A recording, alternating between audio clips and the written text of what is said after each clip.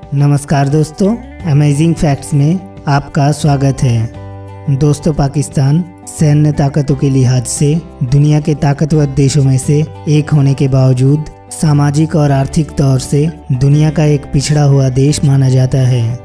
तो आज मैं बताने वाला हूँ कुछ ऐसे कारणों के बारे में जो पाकिस्तान की बर्बादी का बड़े कारणों में से माना जा सकता है। इनमें पहला कारण है भारत के साथ हथियार खरीदने का कंपटीशन करना। भारत एक बड़ा देश और एक बड़ी अर्थव्यवस्था है। इसीलिए भारत अपने हथियार खरीदने के मामले में ज़्यादा पैसे खर्च कर सकता है। लेकिन पाकिस्तान की अर्थव्यवस्था भारत से बहुत ही छोटी और कमज़ोर है और पाकिस्तान की पूरी जीडीपी भारत का सिर्फ़ एक राज्य महाराष्ट्र के बराबर है। भारत अपने कुल जीडीपी का सिर्फ़ ढाई प्रतिशत खर्च करने के बावजूद यह रकम पाकिस्तान से चार गुना है।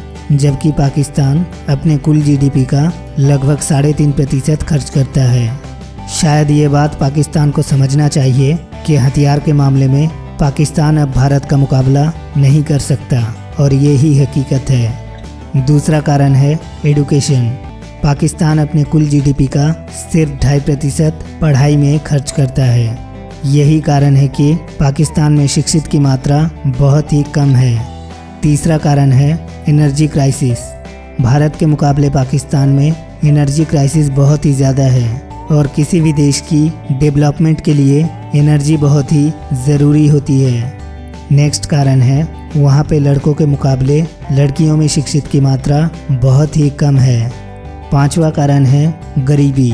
पाकिस्तान की कुल आबादी का एक बड़ा हिस्सा गरीबी रेखा से नीचे है और यह लोग दिन में दो डॉलर से भी कम कमाते हैं। पाकिस्तान की गरीबी का एक बड़ा कारण भ्रष्टाचार और ब्लैक मनी को माना जाता है। छठा कारण है आतंकवाद।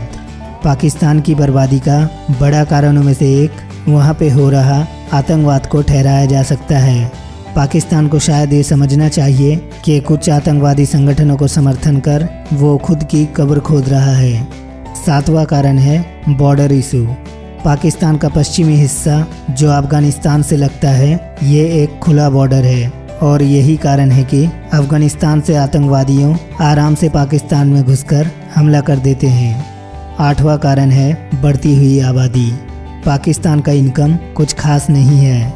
इसके बावजूद पाकिस्तान की आबादी दिन ब दिन बहुत ही तेज़ी से बढ़ रही है, जिस वजह से गरीबों की मात्रा भी काफ़ी बढ़ रही है। नेक्स्ट कारण है पाकिस्तान का स्वास्थ्य व्यवस्था।